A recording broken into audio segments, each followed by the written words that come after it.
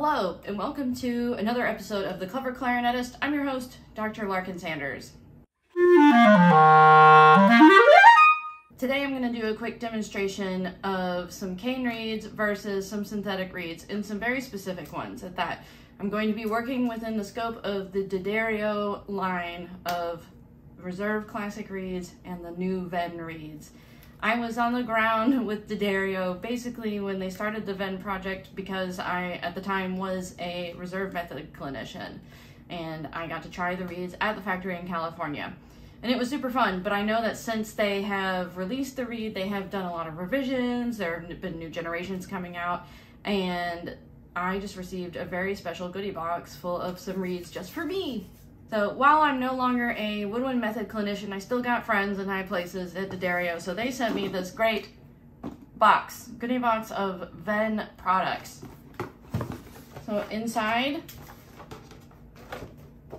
I got a collection of Venn reeds, um, a combination of strength three and three and a half. And this is based on the recommendation of um, my friend who works there that because I play Reserve Classic three and a halfs and the mouthpiece I use is generally the Reserve Evolution, she thought that the Strength 3 and Strength 3.5 would probably suit me best. In addition to those reeds that were specifically for me, I also got a pair of sampler cases. So I know some of you have probably tried my Silverstein sample box uh, where you can order the reed, synthetic reeds, pick whatever one you like and then go order a fresh one from Silverstein and Company. And I'm about to set up something similar with D'Addario. So they sent me in their very special box, these are also my favorite reed cases, by the way, um, a complete set of the soprano clarinet reeds. And these are tenor saxophone reeds, which will also work for bass clarinet. Um, I'll be trying those out later, but today I'm going to work specifically within the soprano clarinet reeds. Um, but yeah, if you're interested in trying these reeds, I hope you'll reach out to me so we can talk about maybe getting a sample kit um, out to you or you can come make an appointment with me in person. So for this little experiment, we're going to use cane reeds as our kind of control point for this like little scientific experiment. So I'm going to play a couple of scales and a Brahms excerpt with this cane reed, uh, which is a two week old broken in cane reed. It's a three and a half plus from the D'Addario Reserve Classic line. So I'll play two F major scales and then the excerpt from Brahms.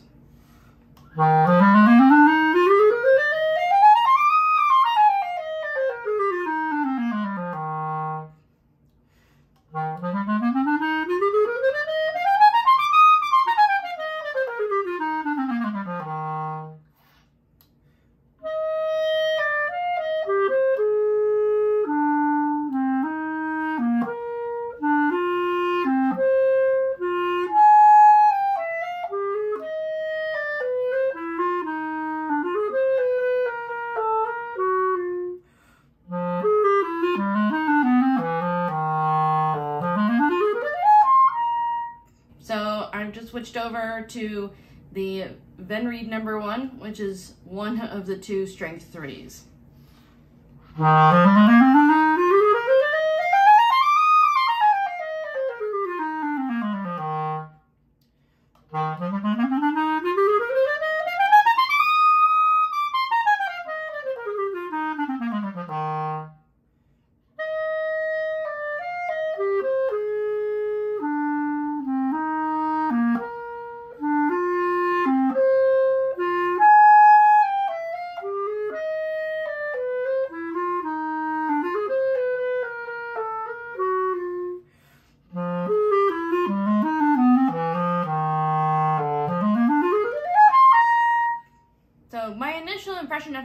That this strength three reed is that I kind of like it. It's a little bit um, loud at first, like it was louder than I expected it to be.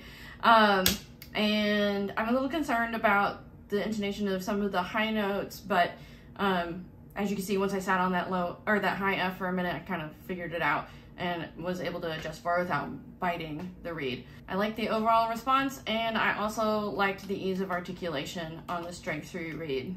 I'm a little surprised at how much I like a strength 3 considering 3 and a halves are my real preference of cane reed and I know that this is a synthetic reed and that can always be different.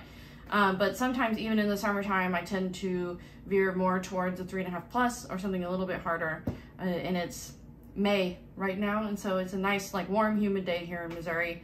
So, yeah, I'm kind of surprised that I like this three so much. Let's try the other three.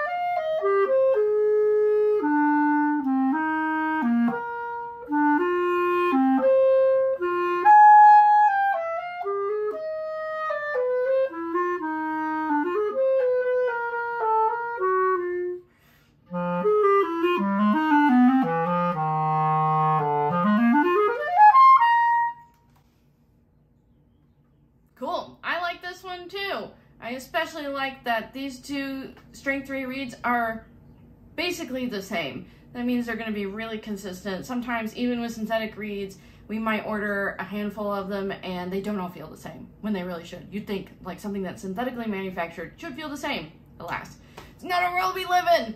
So I really like the strength threes overall. I think they're actually a pretty good comparison to my three and a half cane reed um, from the reserve classic line. If you are more of a traditional player, you just play reserve um, or blue box, whatever, then your strength preference might be a little bit different based on how those reeds are cut. You might actually prefer just like if you're playing a reed with a thinner blank, you might like the stronger strength Venn reeds. Um, but anyway, let's move on to the three and a half, number one.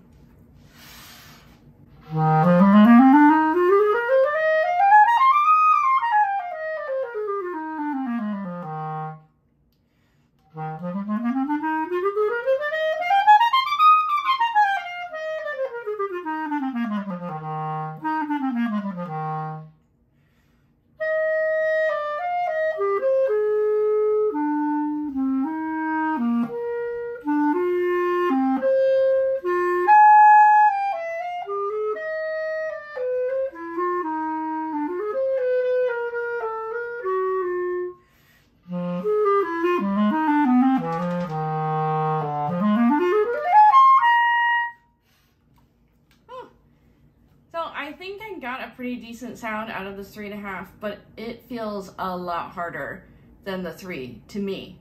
Um, I don't know if you can hear, I, I had some squeaky moments or some things that didn't speak kind of how I was anticipating them to speak, and uh, I think it's because there was a lot more pressure involved than I was expecting. Oh, a half a string can make such a big difference. But let's move on and I'll try the other three and a half reed. Here is the second three and a half Venn reed.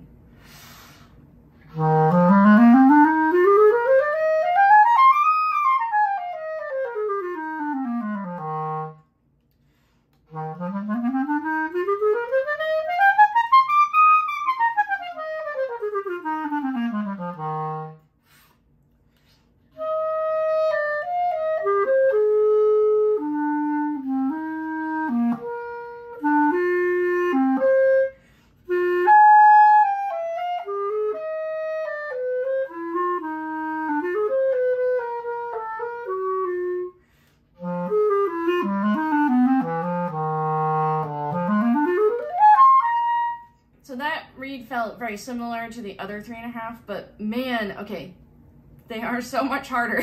three and a half feels so much harder than the three. Um, and I know that, I know, I heard it, that the intonation up high was better on the harder reed, but man, I would have to really build some strength in my embouchure. And I know like my embouchure is already pretty strong. I'm a professional clarinet player.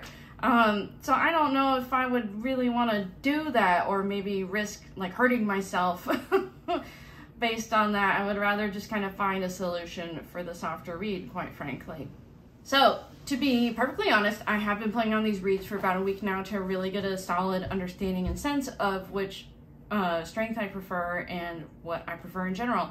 I really like the strength three in the Venn reed. I think they're very comparable to my preferred cane reed, which is a three and a half of the D'Addario Reserve Classic line. I think it'll be great to have um, two to four of these Venn reeds around, you know, just in case. Or if I'm working on breaking in new reeds and I, I just need something else to play on for the day, this will be a great option.